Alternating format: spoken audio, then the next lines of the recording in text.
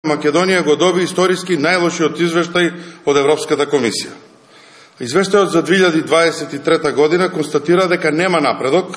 Активната блокада беше еден вид на реакција од страна на претеничката група кон владата и парламентарното мнозинство и имаше за цел да го спречи носењето на криминалните закони кои што беа меѓу коалицијски пазар на партиите од власта.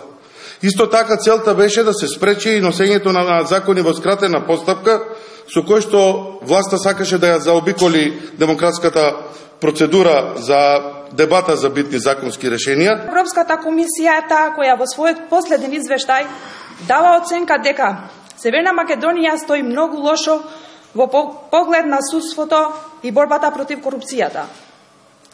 Секако, ова е жална вест за граѓаните на нашата земја.